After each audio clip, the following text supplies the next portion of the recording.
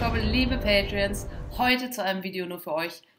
Live, also für mich live, aus Los Angeles, Kalifornien. Als würde ich euch vergessen in der Zwischenzeit. Es geht heute um eine Frage, die mir Inge gestellt hat.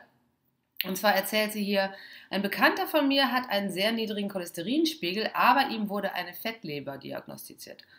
Auch so ist er alles andere als dicht, auch bewegt er sich recht viel, seine Ernährung ist allerdings nicht Whole Food Plant-Based Vegan. Wie kann es zu der oberen Symptomatik kommen und wie kritisch ist das dann deiner Einschätzung nach? Diese Frage wird heute beantwortet, aber vorher kommt noch meine letzte Erinnerung daran, dass ja am Sonntag um 19 Uhr mein Webinar zum Thema Essen als Sucht, wie man es süchtig wird und wie man es therapieren kann und welches Essen überhaupt süchtig macht, stattfindet. Und dafür kann man sich kostenlos anmelden. Link unten drunter und ich sage Ihnen auch jetzt nochmal www.silke-rosenbusch.de slash Esssucht slash. So, und jetzt kommen wir zu Inges Frage.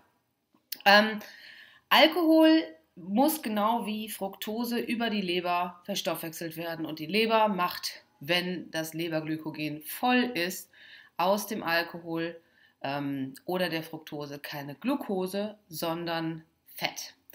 Und ähm, Fett